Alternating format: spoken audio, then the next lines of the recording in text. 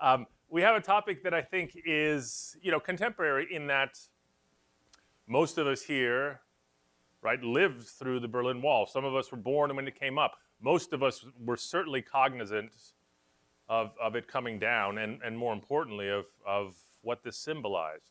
So, in terms of icons, in terms of historical symbols, and as a historical process itself, I mean, the construction of the wall was the physical symbol of the separation between East and West.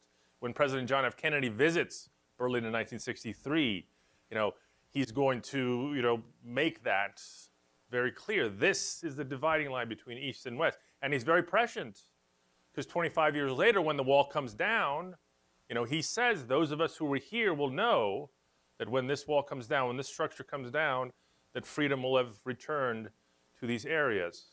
So, in that sense, the wall, of course, is very much right inherent in Cold War history, but you know the contemporary ramifications are there. Um, we discuss walls a lot today in in the media, in in politics, and uh, I'll try to remain as apolitical as possible. But I guess if if I could construct one adage adage for us today is that um, walls do work, uh, but rarely for very long. Um, because, and, and I'm going to paraphrase uh, an individual you'll be hearing from in a minute, uh, walls are, are, never an impediment to the will of the people. Um, and this is a, a, pure example of that. Well, because France is, is Germany's lifelong neighbor and, and Germany's oftentimes rival. But if anyone's going to be interested in seeing Germany rehabilitated, because that was the plan here, let's bring Germany back, let's re, re, recuperate, rehabilitate, help it recover, and then we will have a strong sovereign nation um, right there in Central Europe. Stalin was given a portion of Germany and he was asked one promise. Um, here, Joe, here's your slice of Germany. Just make sure it doesn't become communist. and, and, you know, that's like asking, inviting the wolf into the hen house and asking it not to take a bite. Um, and so very quickly we see um, the, the German zone uh, under Russian occupation uh, become a communist state. So um, the division now becomes clear. The realization becomes paramount that any hopes at a post-war cooperation are done. Some historians in retrospect blame uh, Franklin Roosevelt for being too naive, too optimistic. Uh, I think Perhaps, perhaps. I think I think you, you have to keep in mind the post-war mentality, this this euphoria, this this hope that things could be better, and so maybe we can't fault our, our leaders for for hoping that you know things had somehow changed. But again, I apologize for my language, but once an asshole, always an asshole, and and nothing had changed for Joseph Stalin other than uh, Hitler was gone. Um, but the new president, Harry Truman, now is the one who has to confront this reality that you can't trust Stalin any further, you can throw him. So what do we do about Stalin? Um, but the Marshall Plan was a way, um, politically, it was explained to the American people um, that close to $3 billion worth of American aid was going to be sent to the nations of Europe uh, in order to help them recover after World War II. And on the one hand, that was certainly accurate.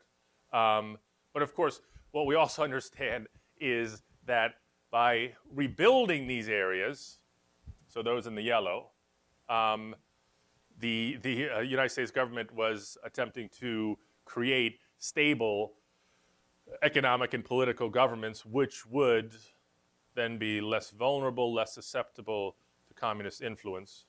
Um, so the Marshall Plan, you know, on the one hand altruistic, on the other hand, this is our way of kind of making sure that everyone's staying on our side.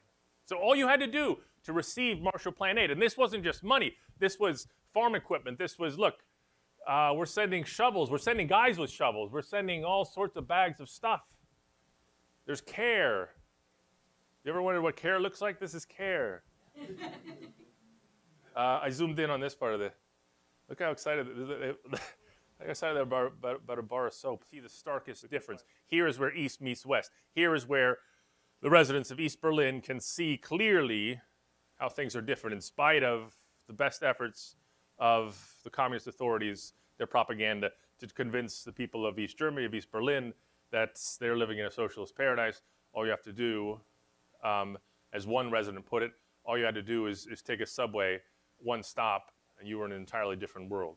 Uh, Western commercialization, uh, Western goods, which were in abundance, and East Germany and East Berlin, which is quickly turning into a third world state. Um, the United States attempts to prop up the Western Berlin zone because by late 1947, all of Germany is hit with an economic recession. Uh, inflation goes up, purchasing power is at an all time low, and so the United States, in order to buffer its part, because again, the United States' concern was if West Berlin's economy should falter, then this would give opportunity for the East to swoop in. So, so the West issues their own currency. The German currency at the time was the mark. The United States introduces the Deutschmark, which just means German mark. Um, but the, the Deutschmark is supported by US dollars, um, which makes it seven times more valuable than the original German currency, seven times. And as a resident of West Berlin, you were given a one to one exchange rate. So you bring your old marks into the bank. Imagine that. You show up with a $10 bill, they gave you 70 bucks. Not bad. And now you can travel back to East Germany and buy up all the goods you want. Um, and so this, of course, undermines Russian control of their own economy. Stalin is upset. Stalin wants to reassert his authority. And did I mention Stalin's an asshole? the result is, as many of you know, a complete blockade of West Berlin. All road, rail, uh, water access into West Berlin are cut off. Stalin, essentially, demonstrating what a swell guy he is, is ready to starve West Berlin into submission unless the United States removes its uh, fiscal policies. But we know what comes next. There's one way still into Berlin, and one way in which the Allies were willing to call Stalin's bluff through the skies. Um, and so, beginning in 1948, um, American and British planes embarking from West Germany begin dropping supplies into West Berlin. And we were willing to call Stalin's bluff principally because we knew Stalin wasn't ready for a war yet. Because uh, we still had an ace in the hole for at least another year.